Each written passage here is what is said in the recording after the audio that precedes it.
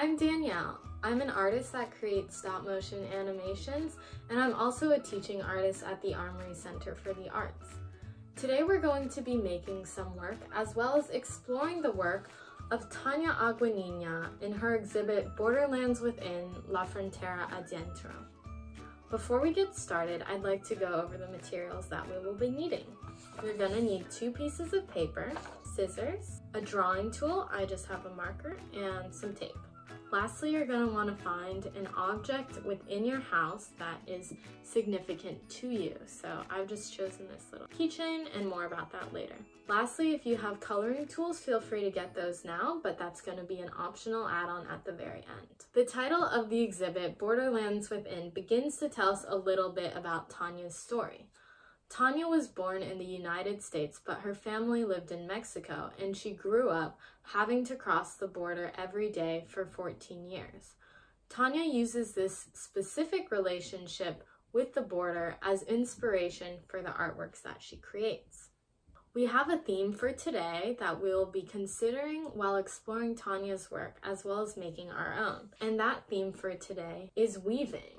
So what is a weaving? Weaving is a way of putting individual threads of usually wool or some sort of yarn together and you're able to create a fabric. Weaving traditionally is done by hand and has a long tradition.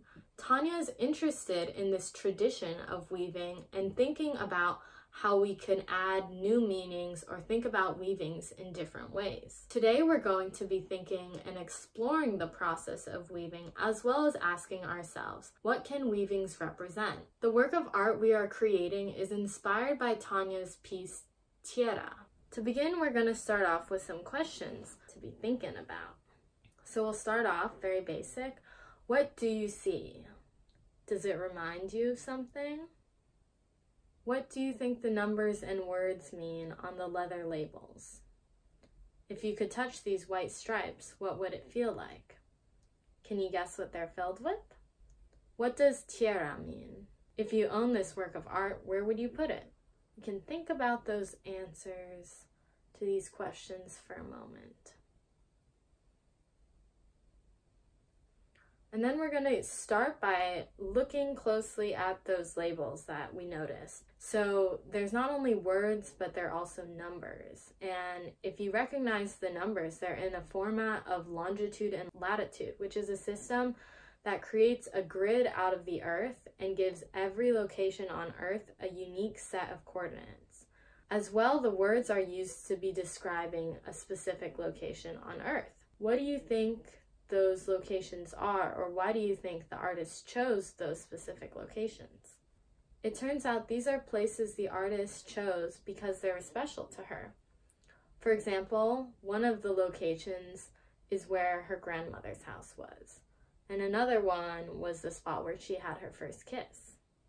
The last part of the artwork that we're going to investigate involves using the title, which we know is tierra, Tierra means land in Spanish, and the artist actually sewed those white tubes of nylon and filled them with the soil or dirt from these special locations that she had chosen. The leather tags are giving us information about the dirt inside. Now that we know this, how would we answer the question, what does this weaving represent? We're going to continue thinking about this question as we make our work of art. Today I'll be showing you how to make your own weaving out of paper. The first step will be cutting out the strips. So grab one of the pieces of paper and you're gonna wanna fold down about an inch and a half, maybe the length of a finger or so. What you're trying to do is create a square and cut off that extra piece of paper. Now you're left with a square. Fold the square in half and fold it in half again. So you've divided the paper into quarters and then you're going to want to cut them out so you're left with four strips of paper. Keep that initial strip that you had cut to the side. So now that you have your four strips, we're going to begin to decorate them. In Tanya's work, Tierra, she created those nylon tubes and filled them with dirt from those specific locations. Today we're not going to be doing that. However, we're going to be inspired by that idea of associating specific strands of the weaving with locations that are meaningful to us. So you're gonna wanna decorate your strips, keeping in mind places outside that are special. And I think maybe we can draw inspiration from this experience of quarantining and reflect on places that we miss being able to go that are outside. So I can show you what I decorated as inspiration and then you can decorate your own strips. So here's one strip that I decorated that is kind of a panoramic landscape of the beach. You see some details. You can also, as opposed to like a big landscape, you can individually choose specific objects that you'd find in that location. Once again, kind of a beachy scene. Another strip I decorated was keeping in mind the sounds that I hear. So at the beach, you hear the crashing of waves. You can just decorate a strip dedicated to the sounds that you hear in that space that you miss. I also really love to go to the movies and I haven't been able to do that, so I've decorated this strip as things that I see in a movie theater. And lastly, I decorated a strip um, my drive to work. I don't hear that beeping and honking of cars on the freeway as, you know, you normally used to. So you can go ahead and decorate your strips. You want to be able to fill up the entire strip. You have a lot of room there to work with, so don't be shy and go ahead and fill up those strips. And you only need to do four, but I've given you some examples and some things to think about as you're drawing, like sounds, things, you can make a map, you can make a landscape. Really, you're free to take this part of the creative project that we're doing and think about what is meaningful to you and reflect on that. Tanya's work has places like her grandmother's house or places like where the border wall meets the ocean. And these are really specific images that are meaningful to her that she's putting into her art. So I'd encourage you to try and do the same. So now that you have four strips fully decorated, we can move on to step three, which is our blind contour drawing. But first we have to prep that second blank sheet of paper. So remember that extra strip of paper that I had asked us to keep in mind on the side? We're gonna grab that now. And you wanna line up that piece of paper onto the edge of your new blank sheet. You can use your marker and just draw a line indicating where they match up. It doesn't have to be perfect, but this, as you can see, mine isn't. It's just a reference. Once again, we're trying to create that square shape. So now we're gonna do an activity with that special object from inside. And, you know, I like to take pictures, and one of my good friends gave me this keychain. I haven't been able to see them in a while, so this is a special object to me. And you're gonna wanna put it in front of you in a place where you can see. So the activity that we're about to do is a blind contour drawing. And as the title gives us a hint about, we are going to be blind to our drawings. So rule number one is you cannot look at your drawing as you're doing it. Is very hard and we want to make things perfect, but the idea of a blind contour is actually the concentration between your eye and the pen. And it's not actually about what the, the final product looks like, but it's more about the process of observing an object. So first rule is you can't look at your drawing. And the second rule is that once your pen gets on the page, you can't lift it up until you're finished with the drawing. So basically what you're trying to do is make your pen work at the speed of your eye as your eye follows along. So my eye will trace over Snoopy's hat and go over his nose and create maybe a little dark circle for the nose. And my eye is registering all these details and my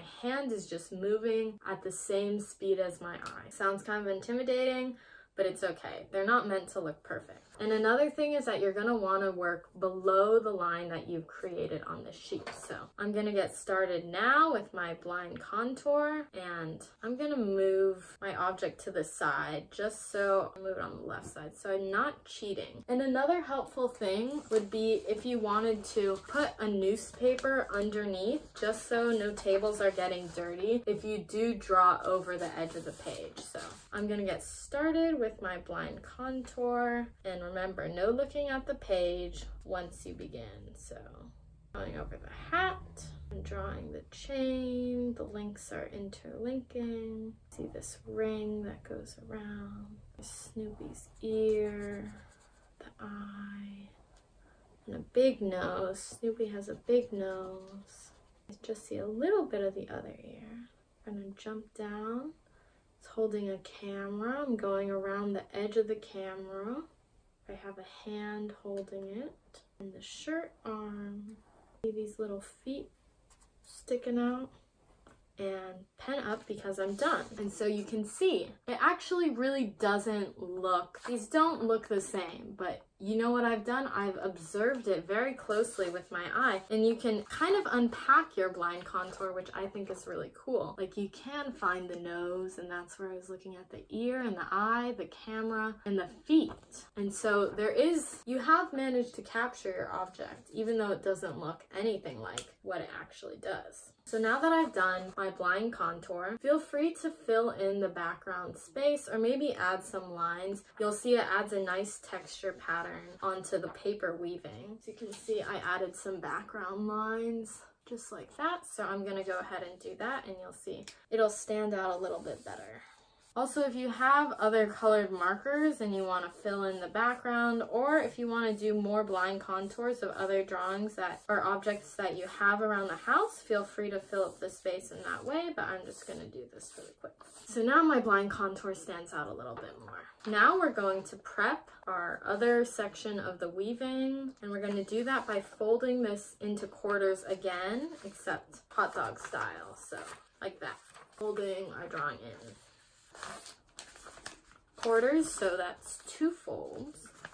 You're gonna open it up, and once again, three creases for four sections. We're gonna cut up and stop at this line right here. I'm gonna go ahead and do that right now. And so here is what it looks like. So once we've done that, and we have our four decorated strips, we are ready to weave. So I think what the first thing you should do is arrange it in the order that you would like.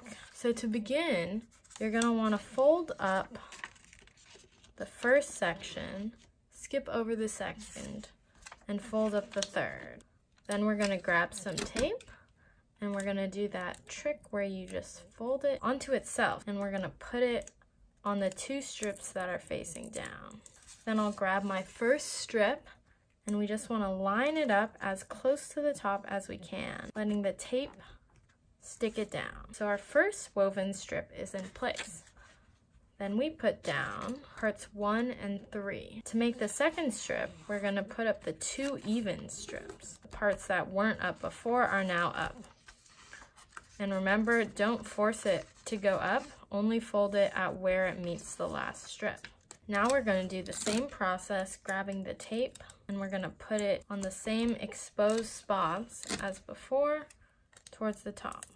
I'll grab my second strip of the weaving and you want to position it once again as far up as it can go. So it's hitting the very bottom of this woven strip so it can't go any further. Let it sink back down onto the tape and secure it. So as you can see, the principle of weaving is this repetition of over, under, over, under, under, over, under, over.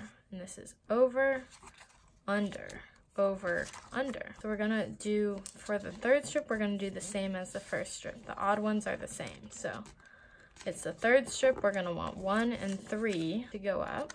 And if the one, two, three, four isn't obvious, I'm just gonna label the top of this just so we're all on the same page.